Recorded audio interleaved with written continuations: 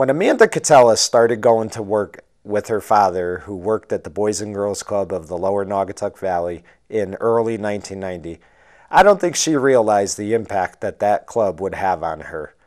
Along the way, Amanda would learn many lessons at the Boys and Girls Club, but the biggest lesson was friendship. She met so many friends at the Boys and Girls Club friends from Derby, friends from Shelton, friends from Ansonia, friends from Seymour, friends from Monroe, and friends from Bridgeport. Amanda Cotella decided that she wanted the club to be a big part of her life. Along the way, she was a member of the Torch Club program, the Keystone program, and she was also awarded Athlete of the Year, Junior Girl of the Year, and Girl of the Year in 2001. But it's not about awards for Amanda Cotella. Sure, they are nice, but it's the lessons she learned while being a member of the Boys and Girls Club. She realized that she wanted to work with children as well. And as years went by, she became an educator and is now a guidance counselor in the Stratford school systems. Amanda would, tell, would be the first to tell you that if not for the Boys and Girls Club, she would not be the person she is today. She learned so much from being a part of the Boys and Girls Clubs. And if you ever have to wonder the impact they have on kids, just look at Amanda Cotella. She has done tremendous things in her life, but being a member of the Boys and Girls Club is one of those things that she's enjoyed the most. Tonight on Hometown Heroes, we pay tribute to not only a legendary club member, but also a legendary person. For Hometown Heroes, I'm Mike Kenichi.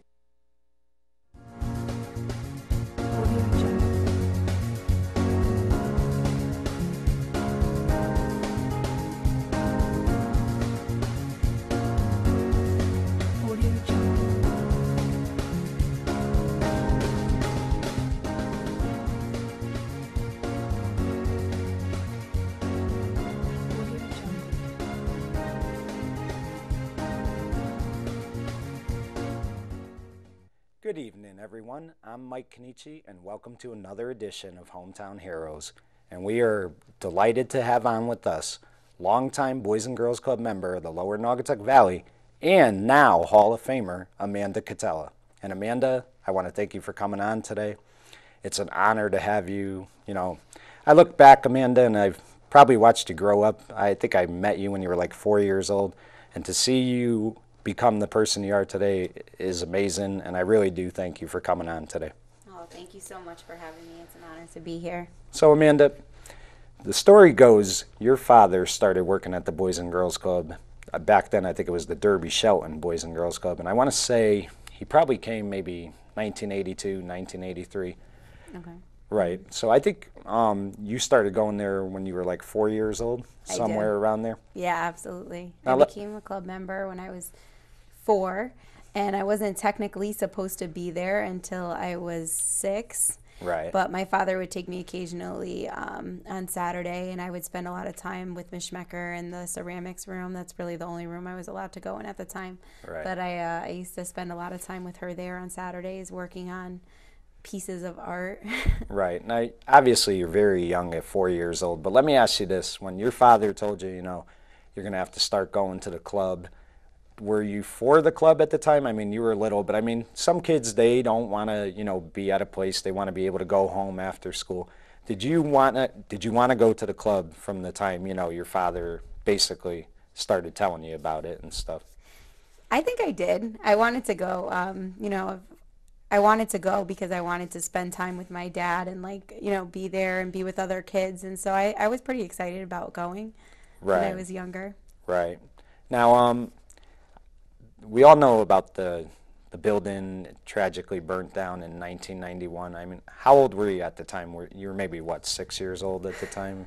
Uh, yeah, five. Yeah, five, right? So, I mean, did you even really understand what was happening? And I mean, how tough was that for your father? Because I mean, that was basically his whole life, and to see that happen, that had to be a tough time for him. Yes, for me, um, you know, when the club burned down, it, I didn't, I don't think I really understood at the time, you know, because right. I was so young. But over the years, I was able to understand what that really meant because, you know, remember, I know you were there too, and all of the the little subcontracted clubs that came after that big building. Yes. So back in 1991, the the boys club had this wonderful big um, huge place for kids to go after school and, and hang out. And then, you know, from that burning down, they always kept the doors open, but the club, you know, was a lot smaller and they lost membership at the time and they but they were still running, you know, activities in those smaller clubs and trying to raise money to have the clubhouse right. that they have now. I think during that time I really understood what that meant for my dad and you know having to having to spend all of the time um, you know fundraising and getting things going so that the kids can have another a place to go again. Right. And you know, the thing about your father which, you know, we've always loved about him is he never ever if something's bothering him, you, he never shows it. You're not going to see it. But I mean, it had to be difficult for him, you know, at least for a good 5 years trying to get this building up and running having to go through everything they did. I mean, it could not have been easy for him. How did he handle everything? Um, well, you know, my dad's kind of that. He's a quiet hero too. Like you said, he he doesn't really let a lot show. Um, even at home, he doesn't. I know he speaks a lot to my mother. You know, she's kind of his his rock behind. Right. Um, you know, I think he does it because it's his passion. Do you know what I mean? And right. I understand that now too, um, as an adult. And I think it did take a lot, but it's always about the kids for my father and i remember him saying that since uh, right. i was a little girl. So i i think that that's probably how he handled it is because he had a vision on what he wanted. Right. And you know he was going to get it for those kids. Right. Now we'll get into this a little more but you and your brother start going near your brother mikey. I mean your father when he's at the boys and girls club he can't necessarily be dad. He has to you know treat you two the same way he would treat any other member. I mean was it something that he told you up front that when I'm at work, you know, you have to follow the rules like every club member? I mean, how was it for him to separate the two for you? Hmm. I don't think we ever had that conversation um, about about the club and, and home and things being different. Um, I think it was just understood that I needed to follow the rules, whether I was at my house or at the club. Right. um, but the role itself was difficult for for me. Um, and the reason was is because I think a lot of people, like growing up, I remember people thinking that it was easier for me because my father was the director and that, you know, right. I was there. And I think for me, it was a little bit more challenging because my father was there every day. I mean, you know, right. all the other kids were getting a place to get away from their parents and my father was was watching every, you know, everything. And kids sometimes, you know, like boys didn't want to like me and g- girls, you know, right. didn't always want to connect with me because my father did, you know, have this role. So um, I think he tried to be fair to me along the way and, and allow me to have the same experience that all the other kids were having. But at the same time, you know, it wasn't always easy having right. having your dad there, where people I think felt the opposite, like it was easier. Right. Now you had talked about uh, Mrs. Schmecker's uh, ceramic room. You know, of course, we're talking about Mary Schmecker. I think she spent 35 years at the Boys and Girls Club. Oh, yeah. So that was basically your first counselor. You know, and it's hard to look at her as a counselor because she's a larger than life person, but basically your first counselor, counselor that you had interaction with. Um, explain the relationship with her and what she meant to you as a you know role model. Oh wow. Um, so Mary Schmecker, she, like I said, she ran uh, the ceramics room at the time, and that was the first room that I was ever like allowed right. to be in at the club. Mrs. Schmecker is just an amazing woman. She was older, um, but what a wonderful role model. She she really was. She was always there to listen. Um, she loved me. She allowed me to be in her room. Right. I wasn't coloring. I wasn't painting in the lines or anything, but you know, she still made me feel like everything that I did in her room was the best thing that right. you know ever that ever existed. in. um, one thing that really stands out with Mary Schmecker for me is that she gave me my first award at the club. I wasn't old oh, enough nice. to even be there, and I remember at one of the awards nights because I always spent time in her room. You know, she had printed me out a certificate, right. and uh, and I, I was able to get my, my award and it, to me that meant the world at the time like wow you know i'm five right. years old and i'm getting this this award at you know so Mary Schmecker, she's she's wonderful, and to me, she meant a real lot. She was one of the first role models I had at the club. Right, and you know, you were talking about your father, always about the kids. It was the same thing with uh, Mary Schmecker. I mean, she was always about the kids. I mean, you would see that lady make it in a snowstorm just so she could, you know, interact with the kids, and they love ceramics just to be there for them. And I mean, that's really, you know, when you talk about boys and girls clubs, that's the type of things people don't see is what the people do behind the scenes. And I mean, she was just a good hearted, caring person who really cared about the kids. Absolutely. Absolutely. Yeah. Yeah. So now, what would you say was your first year? How old were you the first time you started going um, steadily at the Boys and Girls Club? Well, probably six. Like I was already going when I was four, six right. or seven. Right. Now, mm-hmm. did you you had grew up in Bridgeport, if I'm not mistaken. Yeah. So I mean, you couldn't make it to the club every day, obviously, but I'm sure, like, if I had to guess, your first real um, interaction at the club was summer camp. You know, going to Three Saints Park. Uh, you know, I always felt those were the best summer camps at the Boys and Girls Club. Um, what was your t- describe your time there at Three Saints Park? What that was like for oh you? God, Three Saints Park was the best. It was the best. I can't even tell you the amount of friends that I made, you know, going to Three Saints Park and friends that I stayed friends with all year, you know, even after summer camp. Um, but it was definitely my favorite moments at the club was going to Three Saints Park for a long time. And I think the reason why I love Three Saints Park was because um, it was just the place that we can be ourselves and you know do right. the things that kids wanted to do all summer. I don't know. You probably remember that we would practice for the talent show oh, starting yeah, like yeah. day one of summer camp. But I made so many good friends there. Some of them I'm still friends with now. You know, Teddy Beardsley, Louis Dorenzo. Right. Um, both of which I'm still on Facebook with. Louis, I meet up with every once in a while. Teddy moved to Maryland, but you know, those relationships that were built during that time was, you know, right. amazing.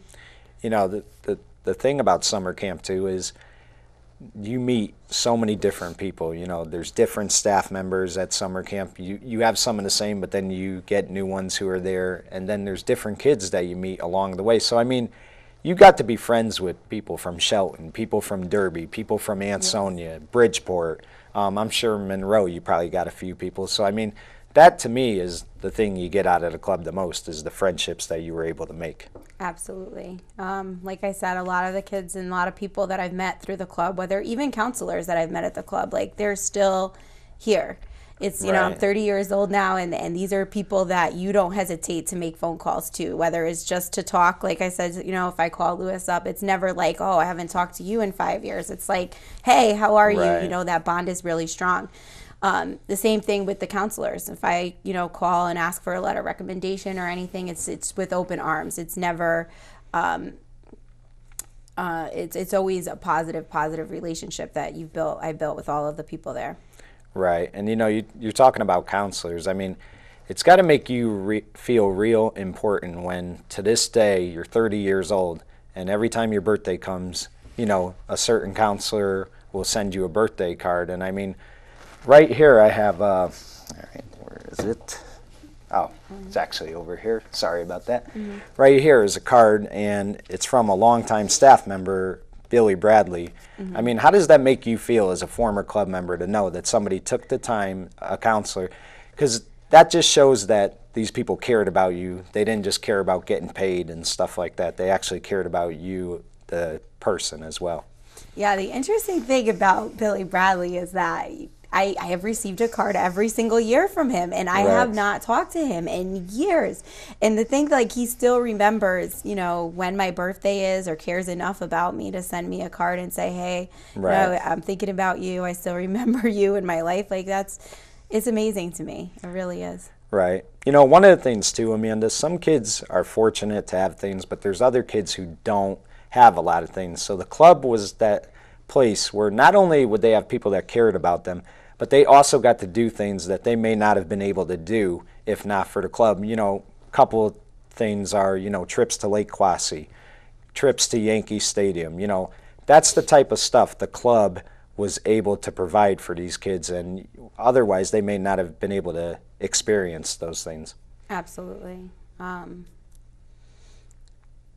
I probably, you know, for me, anyways, I probably would have been able to experience a lot of those things because, you know, just my family life um, is good and, and my parents probably would have taken me. But um, for me, the things that I got from the club that I probably would not have gotten, you know, if I had not gone there, you're absolutely right. For other kids, yes, um, there were opportunities. The opportunities for me was definitely being a part of Keystone Club because those, right. you know, Keystone Club, I mean, it's a youth leadership group um, and you raise you do fundraising and community service to be able to attend trips. And the trips that i've gotten to go on and all of the other kids right. that were in the keystone club with me are things and experiences that i would never would have had right. um, and going on the conference itself. And um, you know going through the workshops that were available at the time and then the social events at night were just experiences right. of a lifetime that even now I've never experienced anything like that. It's not just like going on vacation, it's a forum. It's, you know, um, so that experience was definitely one that um, I treasure in my life and I know had molded me a lot. Right. And you know, your brother and you, you know, started going to the club and little by little, you kind of, you both kind of kind of uh, brought more family members to the club. You know, you'd see a lot of them in the summer. So I mean, the club wasn't just like you know for your friends; it was for your family too. I mean, there were other people that you brought into that building, which I really thought was you know remarkable. Oh yeah. Yeah, you know, I think your cousin Jamie, Kaidi, um, Adon. You know, I'm probably Gina. missing a couple. Yep. Yeah, Gina, couple people, and and you know, a lot of these people that you brought in, family members probably maybe looked at the club at first and weren't sure they wanted to go there, maybe didn't want to come back the next day. But little by little, they started to really enjoy the experience there, and they loved the club probably as much as you did. Oh, you yeah. know, I mean, it was definitely an experience. Now, um, you brought up Keystone, and we'll get to that more, but I believe the first um, youth leadership group that you joined was the Torch Club, and I believe that was around 1997, 98. Yeah. Um, talk about Torch Club and what how that prepared you for Keystone. Oh, okay. So Torch Club is is um, another youth leadership group. It's it's the program that happens before the Keystone for the younger age group. Right. Um, I think it's is it 11 to 13, and then from 14 to 18 you advance on into the Keystone. Am I right with the ages? Right. I know. Right. Okay. Um, so torch club is the same type of thing you know you raise money you and and through the fundraising though you develop a lot of skills because you're saving money you're you're showing up for right. things you have to be there um, it's a commitment to a group oh yeah and definitely. so uh, torch club even you know in, in keystone you get to go on two uh, conferences a year and torch club was one at the time, but it does prepare you. You know, you you begin doing things in the community. At the time, Torch Club was run by Jimmy Queen. Right. Um, when I was doing it, and you know, we would do things in the community, and we would, you know, save money to go on on conferences as well. So Torch Club has definitely set the foundation. And being a part of the Torch Club, I was like, oh, I'm definitely gonna get into the Keystone right. Club when I turn 14. I'm gonna definitely do that. Now, did so. Did you join Torch Club right when you were 11? And how many years were you in it for? All three, pretty much. Yes. Right. And you know the thing, the difference between now and Torch Club, as opposed to back then, is the numbers weren't there back then because again, the club didn't have its own building, so you, you know not a lot of members came. So basically, you guys really had to hustle and work hard to make you know each uh, event that you needed to make to make the trip, stuff like that. And I believe you guys didn't you guys go to Boston for a weekend one year for Torch Club? Yeah. Yeah, talk about that a little bit and that experience. Oh, it was uh, probably one of my first times away from home without my parents. Um, we went to Boston. Uh, I remember we would we saw a lot of things like the Boston Tea Party, things that I hadn't yet seen. Right. Um, and just the trip itself, being on the conference, being around other club members, um, you know, getting to be with the kids that you worked hard with to get on this trip during that time, the friendships. The biggest part, I mean, you learn a lot of things about how to be a leader and, and all of these things that don't click at the time. You know, you hear them right. and you hear them again and again, and you hear them through the Keystone experience again and again. And right. eventually, as an adult, you're like, wow, you know, all of that makes a huge difference. But definitely when you're there as a kid, you remember the moment, the friends, right? You know, the, the role models that are there, uh, your chaperones and your and your advisors right. and things like that. So I know that that's what stands out for me, like you know, just the friendships and the, the memories of that trip. Right. And I, if I'm not mistaken, in 1998, I think maybe it was your second year, maybe your third year there, you decided to run for Torch Club president, correct? Yes. And let me ask you, did you think a year before that that you would ever run for an officer's position, or do you think that year in Torch Club helped you gain the confidence to be able to take that next step and go for an officer's position? Hmm. Well, probably so. Yeah, I uh, I think being in Torch Club for for the first two years helped me gain the confidence to be able to do that. Um, you know, right. to think that I that I had enough to be able to lead the the group and uh, do the things that were necessary to get on the trips and right. um, and help them in that way. So yeah. Right, and you know to go for a position like that, you have to stand up in front of kids and tell them why you think you should be that position. Let me ask you this: How much did Torch Club play in your public speaking? Did it play a role, or would that happen more as you went to Keystone? Um, well, I think that I, you know, if I'm if I'm thinking right, I don't believe there was many opportunities other than that in Torch Club to, you know, speak in public. Definitely when I got to Keystone and the Meet the Kids night that that and i'm definitely you know that i'm not afraid to speak in public and i have right. you know that skill and i think that that was something that came a little bit you know more with the keystone club but it began at torch club when you're right you know we did have to prepare a speech write a speech talk about our skills and how we would be able to lead this group and um, you know and you're running against people too you know right. so um, why would my leadership be different than so and so's and and um, I think that that was important having that skill as a, as a 13 year old, you know, just right. even having the opportunity to be able to, you know, speak to anybody about why I would be the one to lead a group uh, exactly. is an experience for a 13 year old. Yeah. Right. You know, Amanda, you have a unique relationship with your older brother, Mikey, who, yes.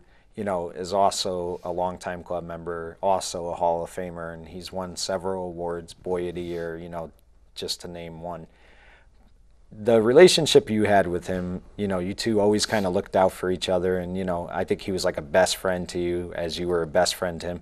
Talk about your relationship with your brother Mikey, not just you know outside the club, but also inside the club. Oh yeah, so me and my brother, um, we're not too far apart in age, and I think both of us, you know, experienced our club uh, experience together. Right. Um, you know, we were off a little bit in age, but there were times that we were attended Keystone trips together because our age is close enough. Right. Um, my brother, he's he's an outstanding person, and, and something that came from the club with both of us, and I know we're going to touch on it a little bit later, is that both of our professions are driven by by children and working with children, and I know that right. that's because of you know the experience that we both had at the club and wanting to be what other people have been to us right. you know to other kids. And you know for me my relationship with my brother um, he's just he's always been there. He's always been there for me you know to listen to um, you know to do fun things with in the club or outside of the club. But my brother uh, you know he he would always be there if i needed somebody. And and that right. is important Definitely. And, you know, you talked about uh, earlier, you touched base on it, people like uh, Teddy Beardsley and Louis Dorenzo. Um, explain or, you know, talk about the relationships. Was there one particular person or a couple kids that you definitely, like, had a big time um, relationship with that helped you through your years at the club and got you through some of the tougher times? I mean, there's a lot of members. I mean, you can't think of them all, but I definitely yeah. think there had to be quite a few. Yeah. So you know, there were there were kids. I was really close with Edwin um, when I was attending the club, and he won Boy of the Year the year that right. I won Girl Edwin, of the Year. Uh, Figueroa. Figueroa. Yeah. yeah. Absolutely. Um, but I gotta tell you, you know, if I had to, if I had to pick somebody who really, really led my future decisions, it, it was Shay right. and Jeff in the teen room. And I know um, they were counselors at the time. I think you know, even me and Shay now were not too too far apart in age. Um, what were ten years maybe. Right. Um, but every experience, everything that I went through in high school, I remember coming back to Shay and talking to her about it in the teen room, and right. you know, sitting there and telling her, you know, oh, this happened, like, you know, and she would always listen. So it was, she was probably like my favorite friend right. at the club, you know, especially in my later years there. Right. So now, um, you talked about being Torch Club president. I believe you received a big honor at the club in, I want to say 1999, maybe. And if I'm off, I apologize. But uh, you were awarded the uh, Junior Girl of the Year. 99, um, yeah. Yeah. Talk about what that felt like when you heard your name, because you know what people don't understand. It's not easy when your father's running the building you know, because people are always going to question things and stuff like that. But I mean, it must have been a thrill for you, you know, a big honor to know that you worked hard for something and you were able to do it, you know, and you did it by yourself. Oh, yeah. Yeah.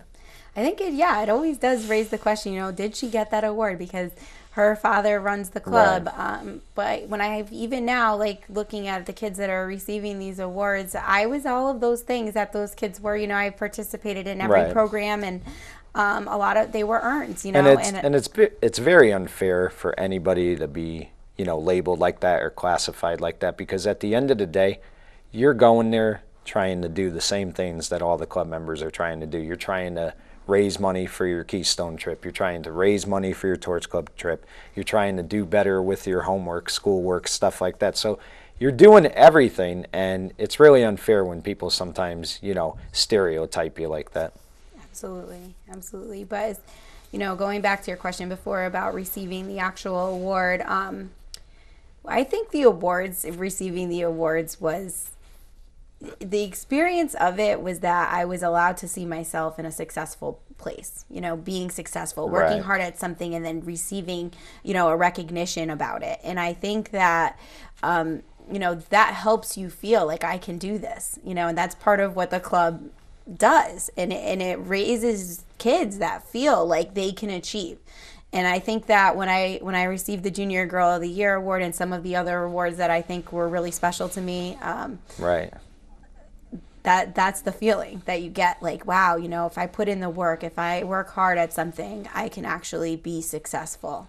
Right. Now, let me ask you this: Did you have an idea? You know, when you're 10 years old, it's hard for anybody to think that these are going through your head. You're just a young kid. You're not looking ahead. You're just looking, you know, to today. But let me ask you this: Did you think at some point you were going to continue on at the club, or did you think there was going to come a point where you said, you know what?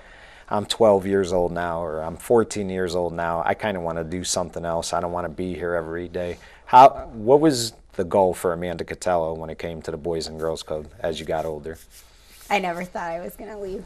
no. No, I never really wanted to leave. Um, right. I knew that for sure I'd be there through 18. At least, you know, I didn't know if I would get a job. I ended up getting a job at the club. So, you know, if I had a different job um, and not worked at the club, I might have been there less, but I think I would have still been there. You right. know, um, I, I might not have been there every single day after school, but I, I definitely would have gone to some of the social events and still, still been a part of Keystone. Right. Um, I, I don't think leaving even as an adult i was wondering you know when am i going to leave here? You know you don't want to leave. It's it's a good place right. to be. And i don't think that leaving was ever a thought of mine as a as a kid. Right. And um, let me ask you this. I think uh, when you got to maybe seventh or eighth grade i want to say seventh grade you had moved from bridgeport to orange now. So you started going to a new uh, junior high school. You had to meet new friends stuff like that I know, you know, we kind of talked about it off air a little bit, but it was not an easy transition for you when you moved to Orange. Would you say the club helped you a lot in getting through some of those difficult times back then? Oh yeah. Yeah, I mean, it wasn't easy at the time, and I know like you had had some rough moments because you know it was a new school and you're trying to fit in, you're trying to be accepted, but you know you got through that great, and I think like you know I would say the club helped you tremendously with that. I did have a hard time when I moved in. And, you know, now looking back on it, I'm not 100% sure why. I think it might have been twofold. Like, you know, my, my own my own brain wasn't as accepting about the move in right. addition to the kids maybe not accepting me a little bit at the time. Um, I just didn't feel like I belonged there. And I don't know why. Um, right. You know, I played on the basketball team there, and I, I, just wasn't. I just didn't feel it. And maybe it could have been the difference in economy, like from where I had come from, and then now I'm in this affluent town in this affluent school. I remember talking to my mom and, you know, telling her, Mom, you know, I need to get these Abercrombie jeans or like these swish pants at the time that had Abercrombie written down the leg. Right. And I, my mom was like, Well, how much are they? And I'm like, Oh, well, they're like 70 bucks. And my mom's like, Absolutely not. Like, I'm not getting you those. And I'm like, But you don't understand. Like, I need them. Right. And my mom was like, No, no, you're not getting those. But I think, you know, being a club member at that time where I really didn't feel accepted for whatever reason at school and I and I, and I being at the club where I did feel accepted helped.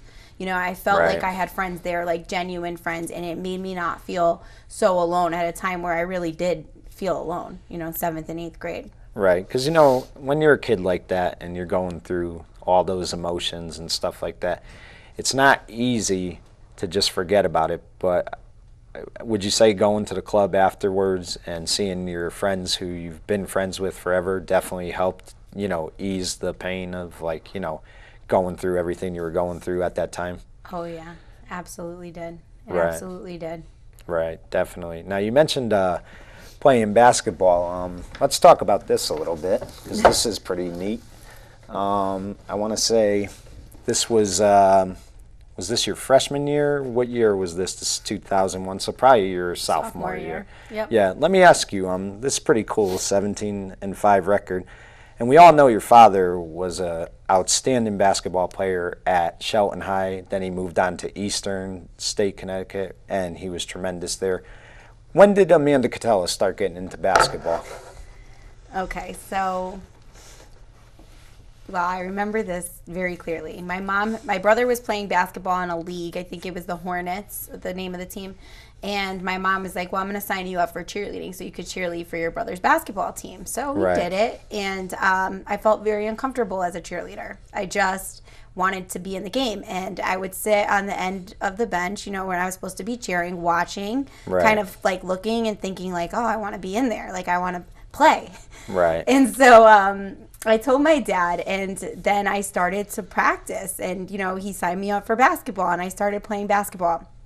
Um, but I developed my skills at the club. I remember Right. developing a lot of my skills at the club because, you know, and I can remember just times when there would be like, you know, sometimes playing with other kids in the gym after school, but sometimes even when the gym was empty and just like shooting layup in each hoop, like around, you know, Right. and going around like 50 times and making layups, right handed layups, and going the opposite way and doing left handed layups, and, you know, really developing my skills as a basketball player, just, Right. you know, from being at the boys' club. Exactly. And I know you're a big New York Knicks fan, but and your father's been forever. You know, me and your father for years have kind of had a friendly bet. I'm a Celtics fan, he's a Knicks fan, and you know, I've pretty much beat him a lot and gotten a lot of lunches from him. But would you say as a kid you watched basketball or did you just like playing it more than watching it? Like were you a big Knicks fan when you were a kid or were you a big fan of the UConn women things? Um, Well,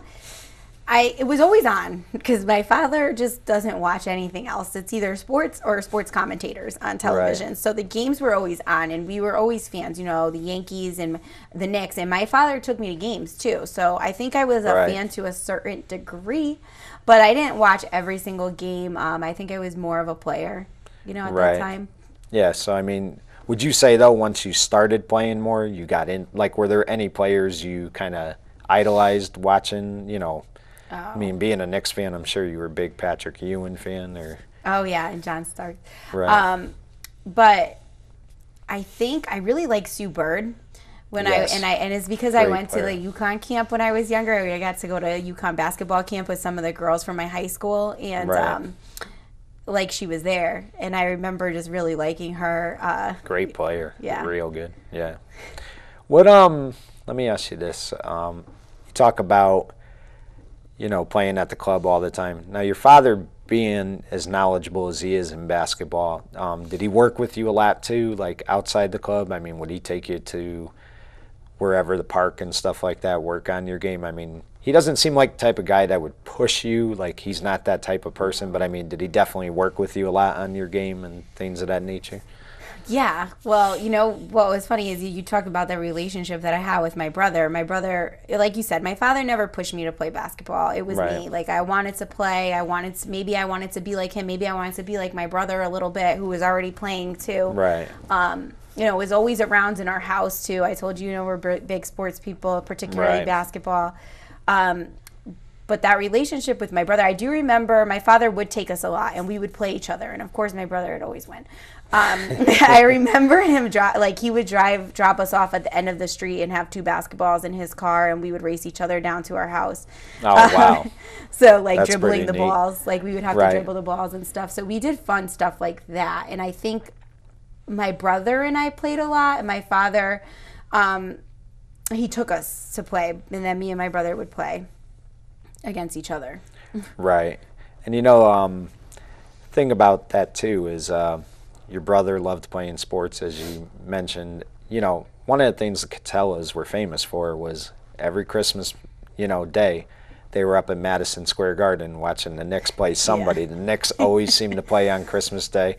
And you know, I remember your father saying one time that the best Christmas he ever had was watching the Knicks play the Bulls, I believe. Um, I mean, that's how big sports has been a part of your family as well. So I mean, you can't help but kind of be a fan because you kind of you know were born into it more or less. Absolutely. And it's it's crazy, you know. I, I again, you feel the sense of accomplishment because when I when I went to Shaw in high school my freshman year, you know, I, I got on the team. I made the junior varsity team, and I worked into making my varsity uh, earning the varsity jersey by the end of my freshman year. So probably the you know the last month of the season, I had my varsity jersey as well, and I would you know sit on all three benches.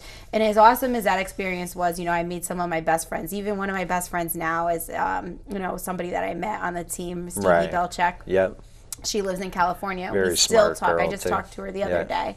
Oh, she's yeah. yeah. intelligent. I mean, real smart kid. Um, and I and you talk about that team you know, your freshman year, you had a coach who he had been known for football. That was his passion in uh, Chris Anderson. And I mean, wow. what was it like? I mean, you guys got an education, I'm sure, that first year as high school, you know, girls playing for Coach Anderson, correct? Tell me, you know, that experience. That had to be awesome. I got to tell you, my freshman year was by far my favorite year um, playing. Right. It was by far, and it was all because Chris Anderson was the coach. And you're absolutely right. His background was to be a football player, and you know, and we needed a freshman girls basketball coach, and he just took the job with open arms. And right. even though it wasn't per se his thing, you know, teenage girls and basketball, and right. it was totally different than the boys in football. Um, but the experience of playing on that team uh, was unreal. It was unreal until this day. I'll never like. I think the world of Chris Anderson, and a lot of it was, you know, he was he was crazy, but it was a good crazy. You know, right. he would he would get the gym at the boys club at eight o'clock in the morning to play to practice on a sunday before a big game that we had. And right. our varsity team didn't have practice. And you know you hate him at the time. You're like why do we have to get up right. and, and go to the club to um, practice at 8 o'clock in the morning? And he's like yep because that's when the gym's available and you guys are going to run. And we ran and we practiced and we learned our plays and went over things. And he would say you know why you guys are going to win you're gonna win today because because you're the only freshman team in the country practicing right now. And, right. and we would be there and we won a lot more games than we should have that year.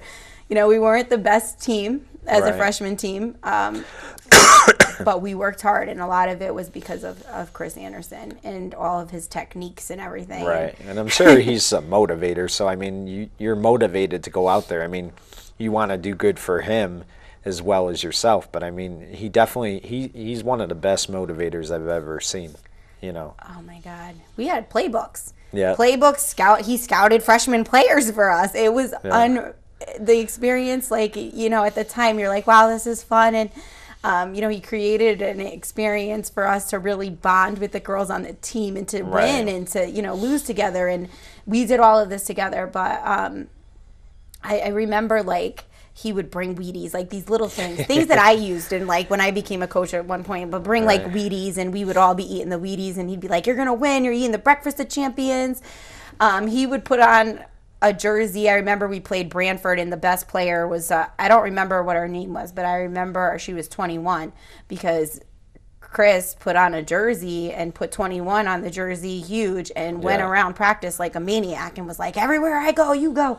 And he was like, get, you know, get me, get me. And so, like, he was, an animal in practice that day, but you know, we did. When the game came around and it was time to find that player, that girl was never not guarded. And it was because of all the motivation right. and all the practice. And he would do things that are a little unorthodox, but at the same time, you know, really created you know bonds between everybody on the team right. and made everybody want to work hard and made us really want to be there you know and you know i think uh, the best thing you said is it was your favorite year of playing high school basketball. So that tells you that is you know unorthodox as he was, as bizarre as he was, he made a difference and an impact on you because that was your favorite year. So I mean that says that says a lot about him, the person as well. Mm-hmm.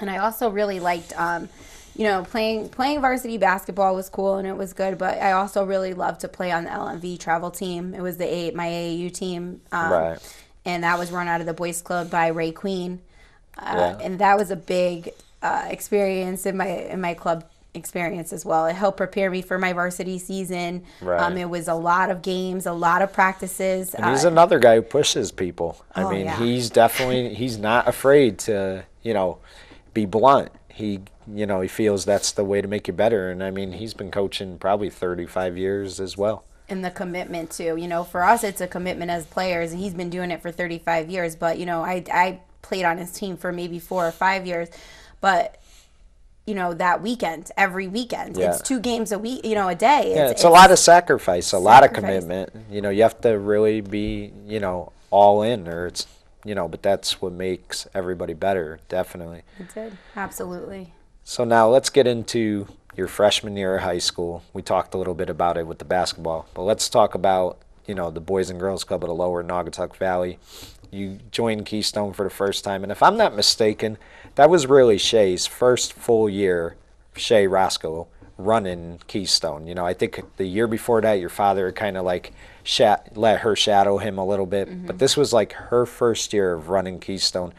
What was the Keystone experience like? You know, I mean, were you ready for it? I mean, what would you say it was like? I was ready for it. Um, right. Yeah, Torch Club prepares you for Keystone, and you kind of walk right into. it. I wasn't ready for the leadership role of it yet, though. Right. Um, that came, you know, in my later teenage years, being in the club. But um, I was definitely ready for it. I wanted to do it. You know, I wanted to be in the team room. I wanted to attend the meetings. I wanted to go on these conferences that my brother and father used to go on. And, right. Um, absolutely was just you know ready to open with open arms for that experience. Right. Now let's talk about uh, some. You talked about conferences. What was your first big conference you went on in Keystone? Now this is where things get foggy for me because I remember them all, but the order of them I'm not 100% sure. Right. I, I, my favorite one that I can remember, the biggest conference for me was um, in California. Right. We went to California, went to Disneyland um, as one of the social events. Uh, I remember that at this conference normally like you would sign up for breakout sessions so you can do like two in the morning have lunch do two in the afternoon and then right. you would have dinner and go to listen to a, a, big keynote speaker. Everybody would come together at that point listen to a keynote speaker and then you would have your social event whatever that is at night a dance. Right. Uh, th- this one was going to uh, disneyland I remember that this trip, I decided to do something different than attend the breakout sessions and I did an offsite experience, which was the first time that like I ever did an offsite one. Right. And this one was to go to like one of the veteran centers around that was around in, in the area and we would just go and, and we talked with veterans all day long. And that experience was amazing for me. Like that was my favorite out right. of anything. I remember that. I remember talking to all these old men about their lives and their experiences and it, it gave me a different opportunity and i love that i love that going on that trip to california right now it's got to be i mean an unbelievable experience though to see so many other boys and girls clubs and you make friendships i mean you know you think about it if you guys had social media back in 2001 oh, yeah. i'm sure you know you would have had so many more relationships because you could have it was hard to keep in touch back then really all you had was email so, I mean, just meeting different people from different clubs, you know, speakers, things of that nature. I mean, that had to be unbelievable. Oh yeah. Um, there's a there's more than a thousand kids sitting in a room. I'm not sure exactly how many attend a, a Keystone conference, but it is a huge conference room filled with kids who have all earned their way uh, to attend a youth leadership conference and all there with a positive vibe and attitude and there right. is no experience that I think a 14 year old can experience that is anything like that you know right being away from home having fun with your friends seeing everybody else who um, is there for the common good like a good purpose you know right so and you know I talked about it earlier, but raising money, I, I, a lot of people think that is an easy thing to do. That is the most difficult thing because you're talking about for those trips, you got to raise sometimes eight hundred dollars. You know, you know at times six hundred, but a lot of times it's close to a thousand. And it's not easy to ask people for money. You know, you have to do different things. I think you guys have done bowl-a-thons. Oh, yeah. You guys have, uh, you know, canned outside, you know, different supermarkets to try to um, raise money for the trip. So, I mean, all that goes into that, it's got to be worth it when you have a conference, like you just said, you know, it, all the hard work because it's not, you know, there's times you probably want to rip your hair out. It had to be worth it all in the end it does send a good message. Hey, work hard and here's your reward. You know, you get right. this wonderful experience at the end of all of this hard work because it is hard work to get on the trip. It's not an easy right. task. And there's even more to it than the fundraising because I remember there were certain activities that we must attend. You had to do a certain amount of community service to get on this trip. You had to, um, you know, make the money. So if you just show up for one fundraising event but not the others, and you're short in your account, um, you're not going on the trip. So it, it was, it's a commitment. It's the commitment right. and working hard to get there. I remember the things that really stood out for me um, as far as fundraising go is selling a lot of candy for sure. Um, yeah. The Christmas uh, the carols, the carols, yeah. The Christmas carols was a big, big fundraiser because you know we'd be at the club and pack up the van. Somebody would take a Shay or you or whoever was around. We get our Christmas hats on, um, and we would go and, and sing Christmas carols to people that were having Christmas parties, and they would pay us to you know right. come, and we would use that money to get on the trip.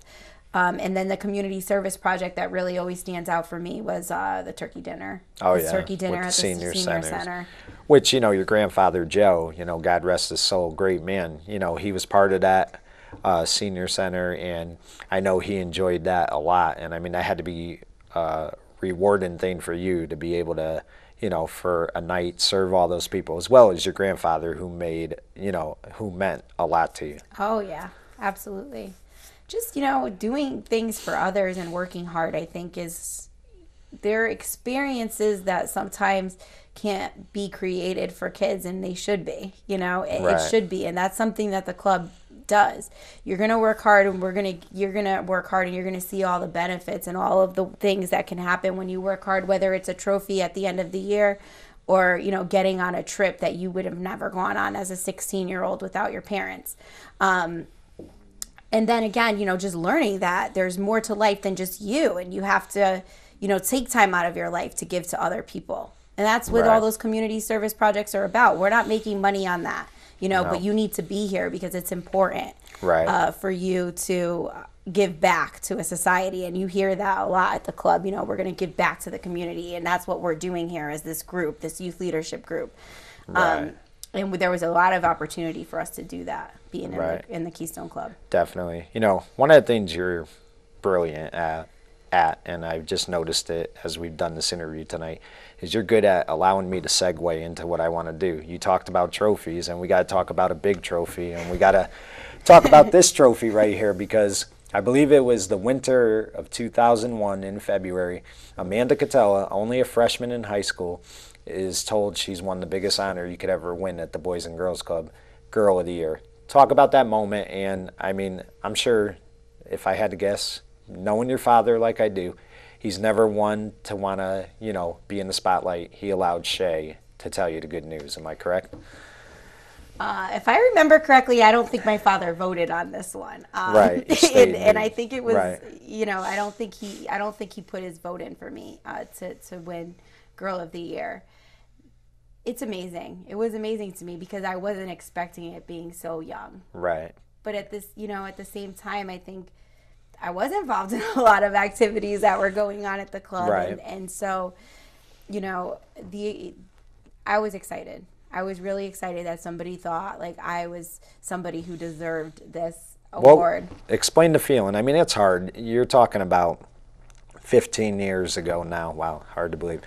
But know, right? what was the feeling like though when they told you? I mean, were you on cloud nine? I mean, were you able to sleep that night? I mean, you know, I know like you take everything in stride. You're not one to ever brag about yourself or talk about yourself. But I mean, you had to take a little of that in and say, wow, I, am girl of the year. This is awesome. I mean, you definitely did, correct? Yeah. I think it really hits not when somebody tells you about, you know, it, I was really proud of myself, don't get me wrong, but at that point you're like, oh, I have to write this speech. And like you're thinking of all of the things on the day of the ceremony, like when you receive the award and the spotlight's on you and you're giving this speech in front of, you know, 100, 100 people or however many people show up at that night. Um, that's when it hits you like wow you know everybody's here they're here this is the biggest award that you can receive this night um, and all of the hard work when people actually introduce you and talk about all the reasons why it's you why right. you deserve it so i think you re- i really felt that you know that amazing feeling the actual night of the award ceremony but i was still so honored you know to hear about it. And the, but then i'm thinking like i got to prepare for this right. um, i'm going to write my speech what am i going to say? And you're a little nervous and then um, the, the night of everything comes together and you realize what a big award it is. Right. Before we close tonight in part one um, we'll get into a lot more in part two. Again your parents have always been your biggest support system. You know, your father, Mike, your mother, Yoli. I mean, they've always been there for you and your brother. And I know the relationship you have with them is strong today as it was when you two were children. I mean, explain to me how rewarding it was to win Girl of the Year and to be able to share it with two people who have always m- meant so much to you. It's it was amazing. It was amazing to have both of my parents there. Um, they they always supported me, and, and a lot of it comes from them but it, a lot of it came from the club too, you know, and being there. It, w- it was awesome to have both of my parents be there on that day. And, you know, for them to say to me, you know, you're, we're so proud of you. Um, in all of the things that you that you are and you know for them to look at me and say you know we know that you deserve this um, right it, it, just makes you feel again like you can do it like you're gonna be i'm gonna be something someday because i'm something now do you know what i mean exactly like and that's the that's the feeling that I think you know you're proud of yourself. Like I've done something great here. Right. And do you think? Uh, I mean, to me, I I've always thought you'd be a success regardless. But do you think? Those years at the Boys and Girls Club, the to- doing Torch Club, doing Keystone, you know, playing on the travel team, being in the ceramics room, do you think a lot of it helped prepare you for, you know, what you're doing today? Everything. Yes. It's everything. Nice. I mean, I figured that's what you would say, but I mean, I could just tell by talking to you tonight that, you know, it definitely played a big role in, you know, your future development. Mm-hmm. Between that, that and the support of my parents, the boys club and the support of my parents is solely the reason why anything that I am today. It all came from that. And that's wonderful. And um, we're going to get into more in part two about Amanda Cotella. Amanda, we're going to talk about her years at Southern State Connecticut University. We're also going to tell about her undergraduate success at uh, the University of Fairfield. And then we will also get into Amanda Cotella, 10 years later, gets into the Boys and Girls Club Hall of Fame. Until next time, I'm Mike Kenichi for Hometown Hero saying good night, everyone.